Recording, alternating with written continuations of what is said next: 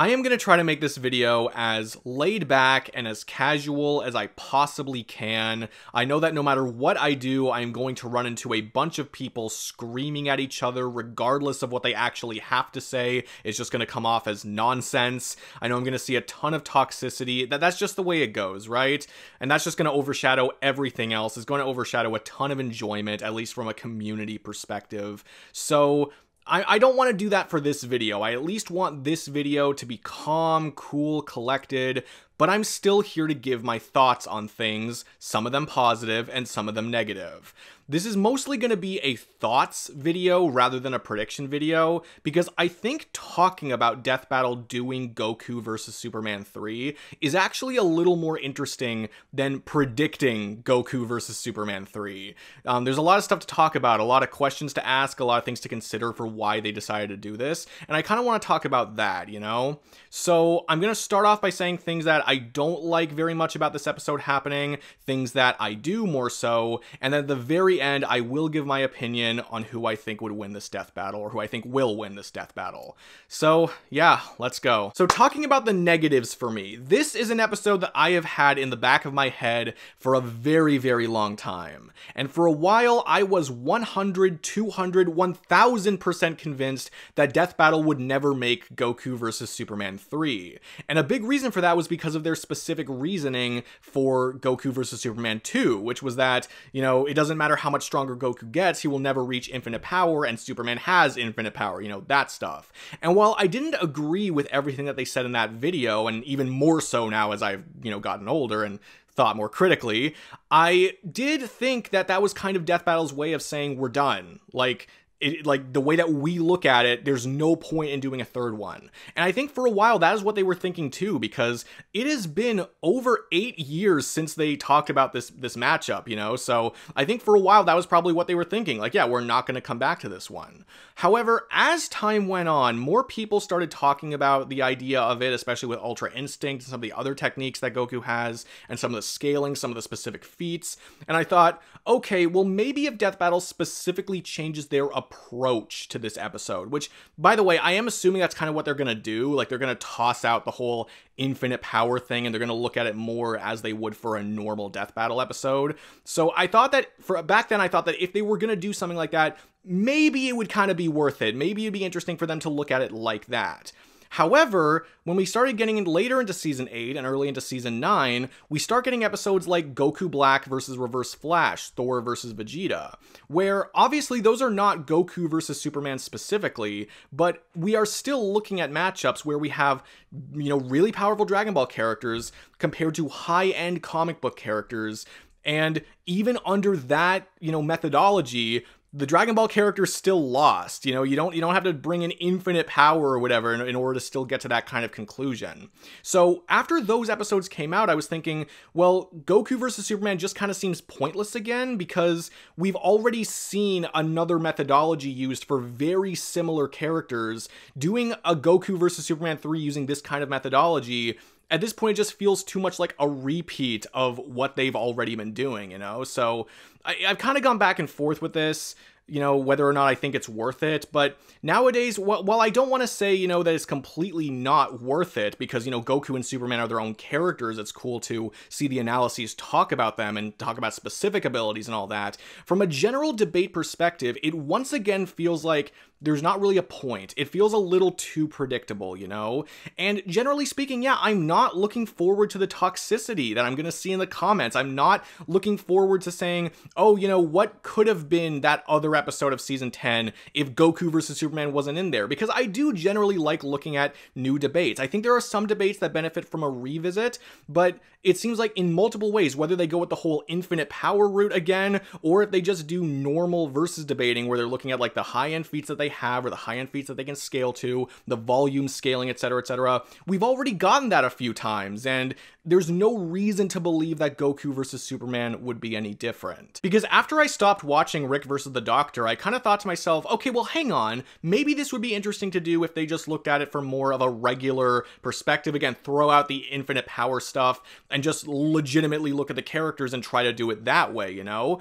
But th the more I thought about it, the more I thought, well, that would have much more weight to it if we haven't gotten very similar debates very recently, you know? So, you know, that's kind of one of my positives, you know, that I think that looking at it from a character perspective, looking at them in that kind of lens for debating, I think would be beneficial to how these characters are represented. You know, I think that this is a chance for Death Battle to represent Goku and Superman better than they ever have before, and I think that's amazing. However, again, from a general debating perspective, like it kind of has an asterisk next to it, right? Like part of it seems like there's still not much of a point generally speaking.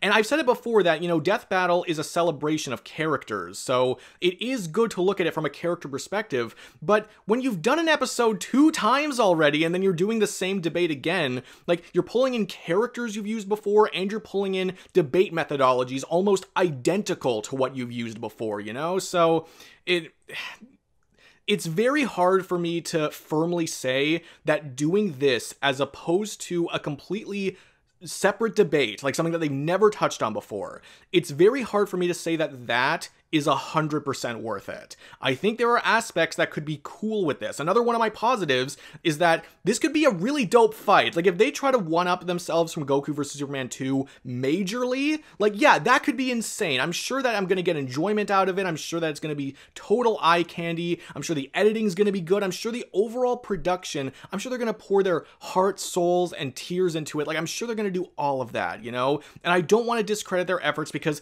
they work so hard and they brings so much joy to my life. Like I don't want to I don't want to completely discredit it because again, like they do what they want to do, right? It's their product and they work really really hard. I get so much enjoyment, you know? However, that doesn't mean that I can't disagree with any of their with with any of their decisions. I know a big reason for this is to make money and I can't really say, "Oh, well, you shouldn't try to do that. Like I, am aware of that. But if there was another motivator for them, like saying, oh yeah, we want to analyze Goku and Superman more like better than what they've done before I understand that, but only to a degree. Again, based on what I've, I've already said before. They've, they've looked at this debate two times already, and we've gotten debates that are very similar just in terms of a debating perspective. You know, there, there could be some really awesome writing in this episode talking about Goku and Superman, but again, there there are some negatives that are kind of like overshadowing the positives in that way. I feel like if this episode came out like before Goku Black versus Reverse Flash or Thor versus Vegeta or stuff like that, I feel like I would be more excited for it because I think, you know, that thought, you know, oh, they, they could use a different methodology, like a regular death battle methodology for this fight. I'd actually be quite excited to see something like that, but not not really anymore. So if this is an episode that you've been waiting for for a very long time and are really really happy to see, bro, I applaud you. I think that's amazing. I'm so happy for you, and I hope that you absolutely love the episode. I really hope that you weren't just hoping for it because you wanted to see one character specifically kill the other, and for no other reason, because you never know what the outcomes for these kinds of things, and, you know, if, if it doesn't work out your way, then you're just gonna be pissed. But either way, I'm happy that you're excited if you are excited, and I want more people to be excited than not excited, because there's this really weird thing on the internet where if somebody doesn't like something, like they don't like the outcome of something, they don't like the confirmation of something, etc., they will hate on people for thinking the opposite. But what kind of sadist am I? Like, why do I want people to not be excited for it just because I'm not the most excited for it, right? Like, I, I don't understand that. Just be kind to each other, you know? But I'm just here to say that, in my humble opinion, because it's all about me, right? In my opinion, I I think there are positives. I, I definitely do. And I think this could be a really good episode production wise. I just see a lot of negatives getting in the way for me. Like they just overshadow the positives. I, I think that, you know, the, I think I think it's okay. You know, I'm not going to get mad at it. I'm not I'm not going to rage about it. Doesn't mean I won't give my opinion, but I won't rage about it. You know, there's a difference. Um, but yeah, I, I do think there are positives. I think in my mind at least there are more negatives. But you know, it's what we got, and I'm not going to talk as if I can change that. So that's about it. But now we can get into the thing that most people actually clicked on this video for. Who do I think would win between Goku and Superman in this upcoming episode? I am not going to talk about this very long because I don't want to indulge in anything even remotely toxic. I'm just going to step in and get out, and that's going to be what I have to say for this episode. I don't want to talk about it very much, but I will still give my brief thoughts. So, unless Death Battle does something very, very different from how they've normally done things, I think Superman is going to win again, and some of you may have even picked up on that based on other death battles that I brought up, like Goku Black versus Reverse Flash and Thor versus Vegeta.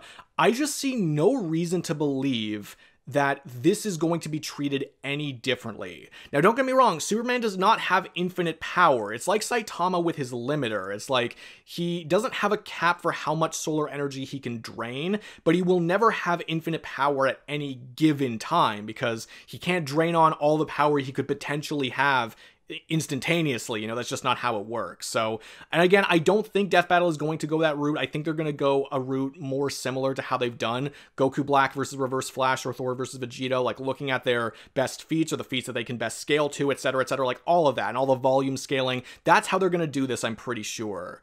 But again, that doesn't really help Goku's case in my mind. Like, I see no reason to believe that they're going to use this and use all the volume scaling, all the characters that these characters can scale to. I see no reason to believe that that is going to end up in Goku's favor, you know what I mean? The only way that I could see Death Battle giving the win to Goku based on something that they have done before, like their own precedents, is something similar to what they said in Hulk versus Broly, which was that, you know, Hulk's strength would increase and Broly's strength would increase, and that's a big factor in all that. So I feel like the best way that they could have Goku win is if they start Superman at like a pretty low level and then say that Superman couldn't keep getting power quick enough before Goku just kills him and the fight's over, you know? But even then, that's not really how I interpret how they did Hulk versus Broly. Like, the, the whole 120 universes number that they attributed for Hulk, they still attributed that to the Green Scar, like the strongest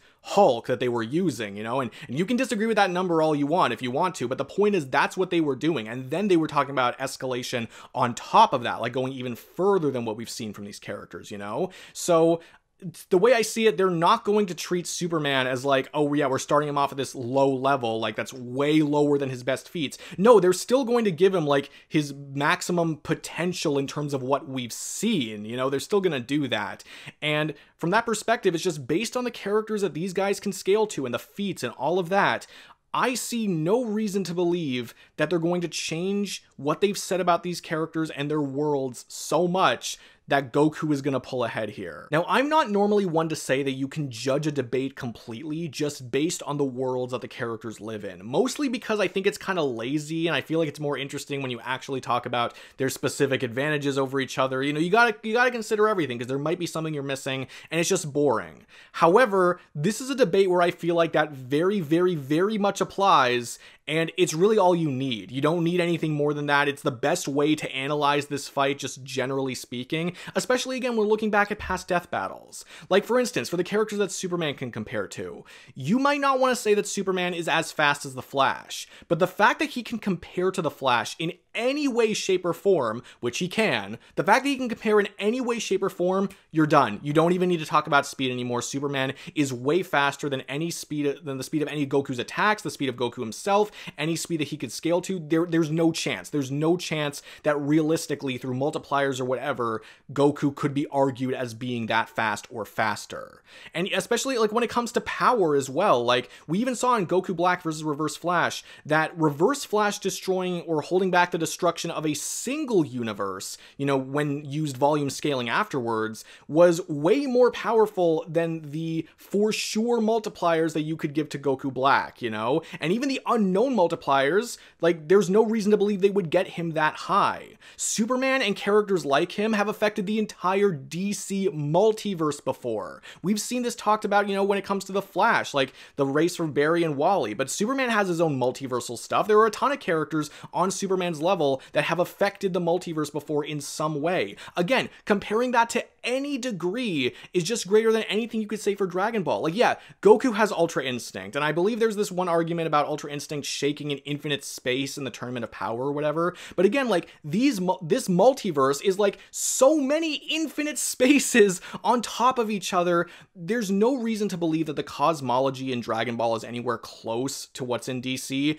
and there's no reason to believe that Goku's power, speed, or durability could compare to Superman's when Superman can at least, if not surpass, but at least compare to those ridiculous levels. Hell, we know for a fact that Death Battle sees high-end DC characters as being stronger than at least most of Xenoverse Dragon Ball, just based on other Death Battles they've done and comparing them to each other. So I see no reason to believe that even Xeno Goku, in their eyes, would be able to beat or match the high-end capabilities of someone like Superman, let alone regular Goku at this point, because we know he'd be even weaker than that.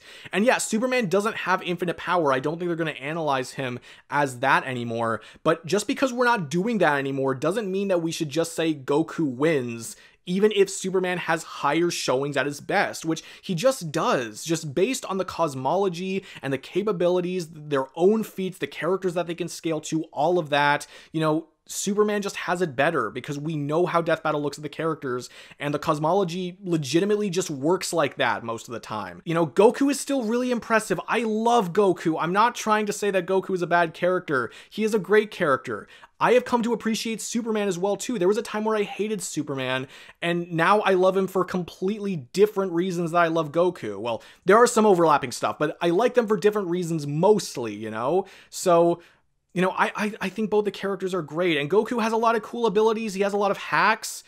Superman has resisted nearly every hacks known to man. Like, the only way that I can really see this episode being worth it, like that that I would I would feel fulfilled that Death Battle did this episode, is if they really focused on new aspects of the characters that they haven't talked about before, while still being true to the characters, and really nailing home how to analyze them.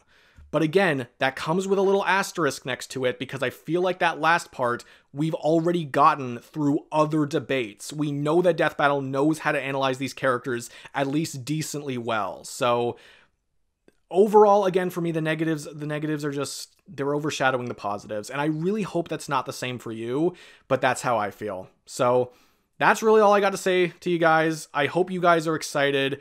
I'm not the most excited, but I'm sure I'm still going to enjoy the video for what it is. Um, if you enjoyed this video, be sure to give it a like, comment your comments down below, subscribe if you could too, that would be amazing. Um, but no matter what you guys do, thank you all so much for watching. I really do appreciate it. We'll see what happens, and we'll see how much I enjoy it. So that's it for me. I will see all of you guys in the next video. Peace out.